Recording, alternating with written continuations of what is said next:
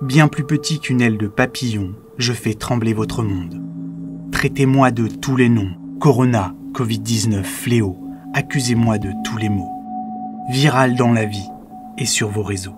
J'ai poussé plus de 3 milliards d'humains à être confinés. Invisible à l'œil nu, je suis pourtant devenu pour vous un gros problème, en germe, une grande catastrophe.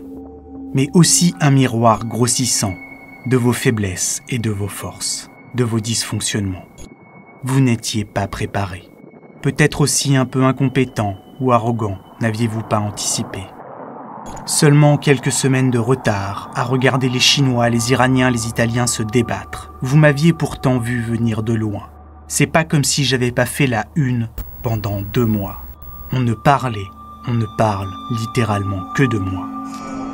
Maintenant, il est trop tard, je me suis bien installé. N'ai plus besoin que de vous pour me déplacer. Restez donc les uns des autres à plus d'un mètre. Quand je voyage, le monde s'arrête. Dehors, ne reste plus que ceux qui coursent, qui courent, seuls ou sans toi.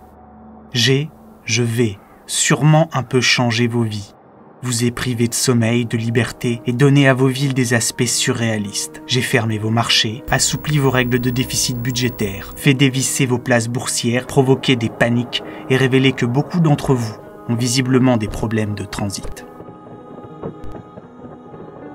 Je donne même de la fièvre à ceux qui n'en ont pas, fait trembler de peur les puissants, vaciller vos systèmes, teste vos régimes et je tue.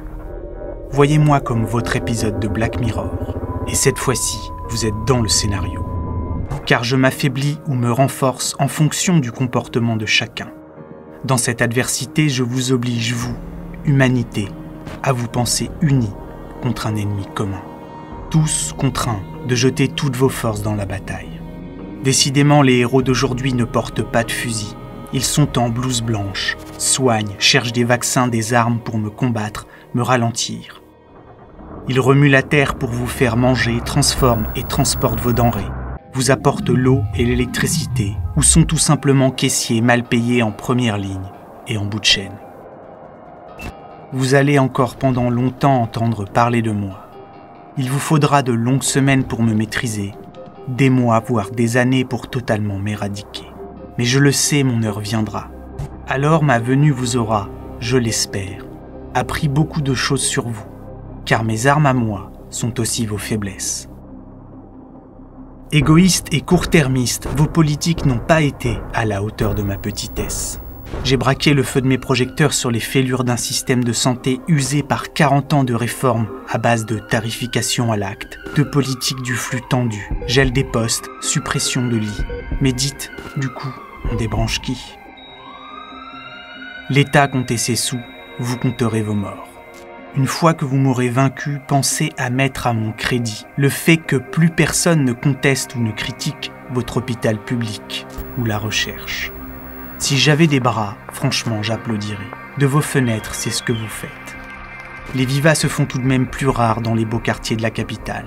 Car ici aussi j'agis telle une loupe, pointant du doigt vos inégalités sociales.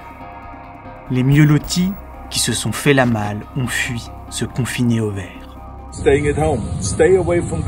Quant à ceux qui étaient partis encore plus loin il y a longtemps pour éviter l'impôt, il semble qu'ils veuillent maintenant revenir pour profiter de vos héros. Les plus privilégiés nous posent aussi leurs questions, parfois stupéfiantes, pour savoir s'ils peuvent faire venir leurs femmes de ménage dans leur résidence secondaire, ou s'ils peuvent rejoindre leur villa en France, depuis leur pays de résidence parfois connu pour ses pratiques fiscales peu agressives. D'autres veulent rentrer parce qu'ils pensent qu'ici, ils seront mieux soignés. Votre santé n'a pas de prix. Mais je sais qu'une fois la bataille passée, à l'heure de demander des comptes, quand il faudra collectivement payer, vous saurez faire la distinction entre ceux qui sont allés au front et qui sont les héros et ceux qui ne le sont pas. À moins que vous, assis là, pas bougé, les quelques privilégiés, ceux que par la force des choses j'ai enfermés et dont les vies pressées se sont arrêtées nettes vous qui passez tant de temps sur les réseaux, sur Internet. Si vous n'êtes pas entassé, que vous n'avez pas d'enfant hyperactif ou de mari agressif, alors peut-être pourriez-vous mettre à profit cette drôle de guerre, retranchée sur canapé, à lutter immobile, pour, de ce temps parfois libre qui vous est imposé, prendre un moment pour réfléchir. Voyez-moi telle une occasion, une chance, votre petit révélateur de défaillance. Mon arrivée brutale dans votre société mondialisée vous découvre profondément vulnérable, fragile. Et si la prise de conscience de vos faiblesses était une force, celle de se reconnaître dépendants les uns des autres, et concernés, donc responsables. Voyez en moi la mise en lumière de vos limites, une opportunité de prendre un peu de recul sur un monde bien plus vaste que vous. Vous n'obtiendrez de moi bien sûr aucune réponse, mais les sentez-vous doucement germer en vous ces remises en question. Prospérité, priorité, commerce, échange, protection sociale, service public, la qualité de vie, télétravail bullshit job. Qu'est-ce qu'un métier utile? Qu'est-ce qu'un métier futile? Ça ressemble à quoi une société qui monte? Une société qui tombe? Je ne m'inquiète pas pour vous. Je vous sais bien plus fort que moi. Contre mes mots, vous trouverez, je n'en doute pas, des remèdes. Vous sortirez vainqueur et vous pourrez vous applaudir. Mais une fois que je serai parti, ne baissez pas la garde. Je ne suis pas une parenthèse, mais un avertissement. Une forme de rappel à l'ordre et à l'humilité. Voyez-moi comme un test ou une répétition, le fruit pourri d'une tendance. Car que vous le vouliez ou non, ma venue est indirectement liée à vos modes de vie et de consommation. Déforestation, urbanisation et industrialisation ont provoqué la destruction accélérée des habitats naturels. Ce faisant, vous avez multiplié les contacts entre la faune sauvage et les humains, et ainsi favorisé l'émergence de nouvelles maladies. Et même si ces phénomènes d'apparition ne sont pas nouveaux, ils s'accélèrent. La question n'est donc pas de savoir si, en tant que fléau, je reviendrai, mais sous quelle forme. Je ne m'inquiète pas pour vous sur le court terme. Moi, petit virus, par ma seule force, vous donne un peu de répit, de temps et l'opportunité d'anticiper, alors que toute votre société consumériste, constamment en mouvement frénétique, a posé un genou au sol. Que ferez-vous quand vous vous relèverez? Vous allez recommencer à courir, dans cette fuite éperdue en avant, foncer à la rencontre d'un péril autrement plus grand et dangereux que moi. Je ne vous ferai pas l'offense d'en prononcer les noms écologiques et climatiques font depuis longtemps la une et vous en détournez les yeux. Ces désastres qui s'annoncent ne connaissent eux aussi aucune frontière. Avançant en silence, diffus, étalés dans le temps, ils gagnent en puissance chaque jour et frapperont partout. Sournois, vous ne les voyez pas comme vous pouvez me voir, car même si je ne vous touche pas directement, vous vous sentez concerné. Je suis là, maintenant, de l'autre côté de vos portes, concret. Avec ces crises-là, avec écologique et climatique, les distances de sécurité ne se mesurent pas en mètres, mais en centaines, milliers de kilomètres. Et le retard que vous avez pris pour les combattre se compte en décennies.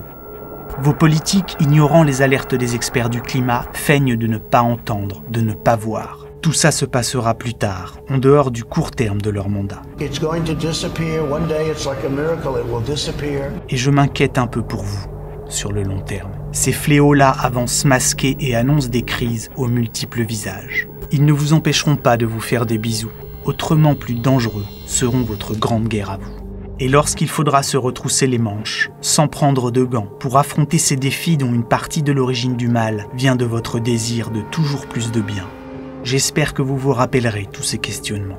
Moi je veux rouler en SUV, moi je veux une grosse télé, moi je veux avoir un bon système d'éducation, de recherche et de santé à l'issue de mon épreuve, de cette solitude imposée, vous aurez, je l'espère, pris le goût d'une société unie dans un effort commun.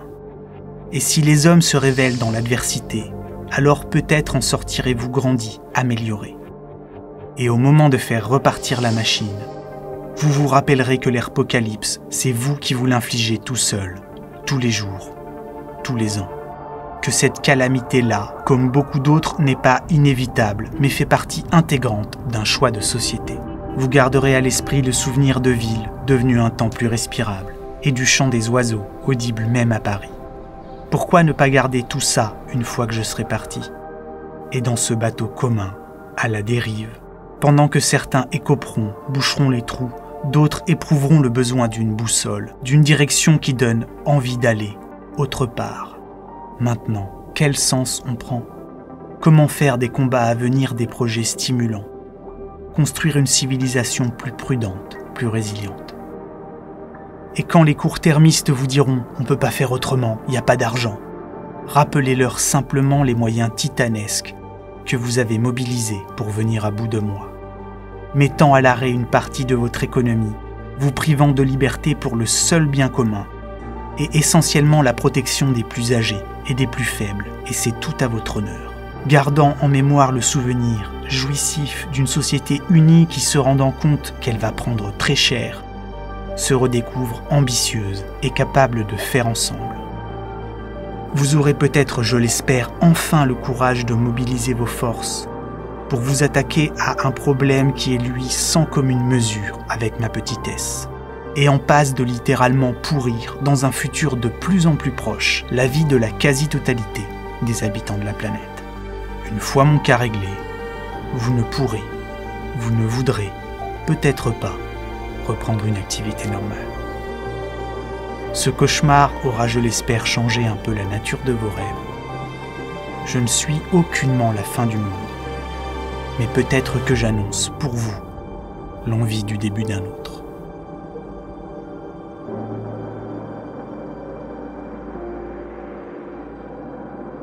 Pour vivre de cette activité, on dépend majoritairement de votre soutien, qu'il soit sur Tipeee, Utip ou via le bouton rejoindre. Mille merci à vous. Bisous, prenez soin de vous, restez chez vous.